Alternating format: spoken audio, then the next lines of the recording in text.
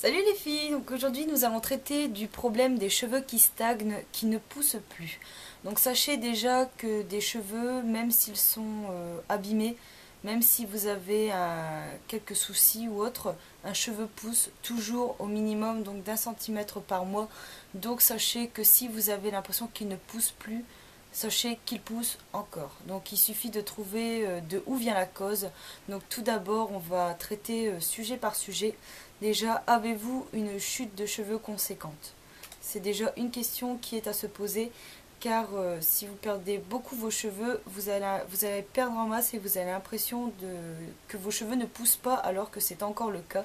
Si vous, vous, avez vraiment une très très grosse chute de cheveux que vous n'arrivez pas à stopper, qui n'est pas normale, euh, et que vous ne traitez pas, sachez que ça peut venir euh, tout à fait de ça. Oubliez pas qu'après il y a les chutes saisonnières euh, à l'arrivée du printemps et de l'automne qui est tout à fait normal et qui dure quelques semaines voire un mois ou deux. ça à la limite c'est pas trop trop grave mais si vous constatez que vos cheveux ne bah, si vous avez l'impression que vos cheveux ne poussent plus déjà depuis quelques mois il y a vraiment un petit problème. Donc ensuite, faites-vous des colorations et des décolorations Si oui, à quelle fréquence? Surtout, c'est la fréquence qui compte parce que si vous en faites une, euh, par exemple, tous les 3-4 mois, bon, c'est pas euh, trop trop grave. En revanche, si vous faites, euh, si vous êtes du genre à aimer changer de couleur toutes les semaines, voire tous les deux semaines, voire tous les mois, sachez que ça peut venir d'ici. Donc, euh, sachant que ces traitements chimiques abîment vos cheveux et provoquent donc euh, des fourches et des cassures. Euh, utilisez-vous également le lisseur? après, vous pouvez également utiliser les colorations, les décolorations et le lisseur, ce qui est encore pire.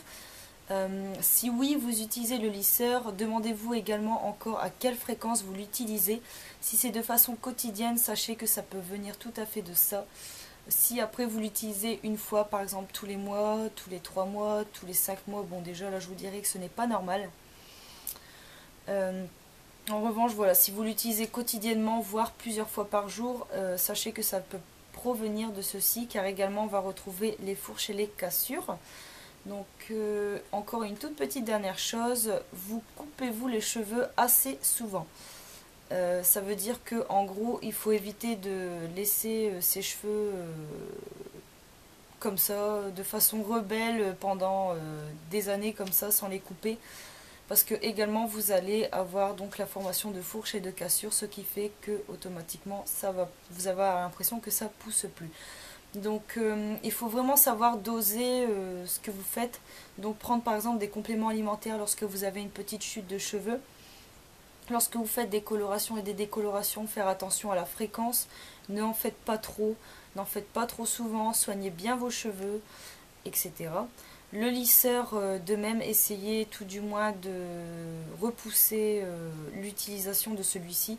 Parce que des fois, je vois pas l'intérêt l'utiliser de façon quotidienne alors que vous, vous avez déjà de base des cheveux à peu près lisses c'est pas utile quoi je veux dire c'est pas parce que vos cheveux vont pas être raides comme des baguettes que vous allez mourir voilà donc voilà pour ça. Et couper ses cheveux de fréquence, euh, pas, je vais pas dire souvent, mais assez souvent.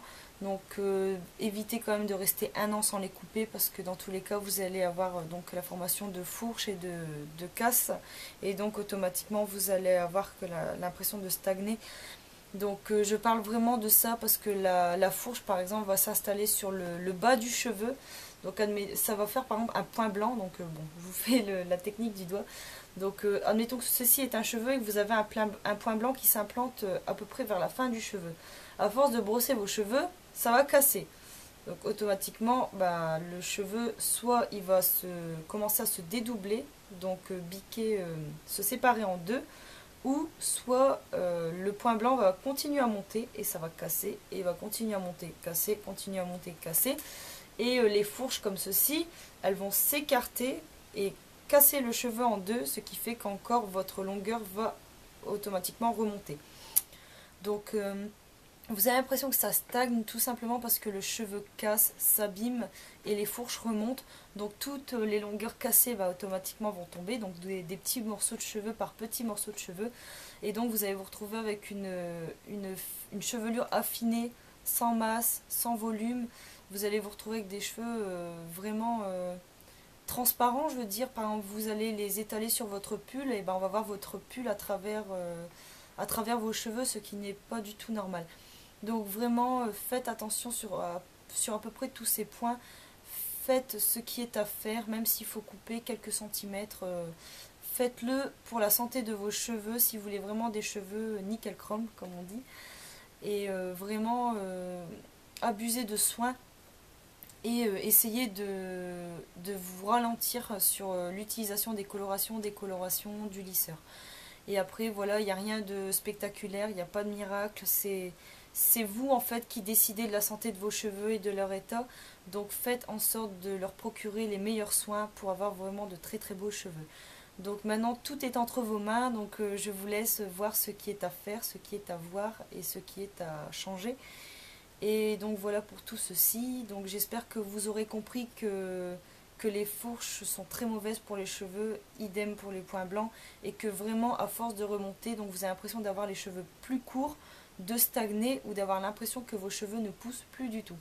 Donc après tout ça, dès que vous aurez réglé ces problèmes, vous pourrez entamer par exemple des cures de coco pour essayer d'accélérer un petit peu votre pousse de cheveux. Donc voilà pour ces petits détails et ces petits conseils. Donc euh, pensez bien ce que je viens de vous dire parce que pour certaines c'est pas forcément évident. Donc euh, voilà. Donc je vous remercie de m'avoir écouté. Je vous dis également à très bientôt pour une prochaine vidéo. Salut les filles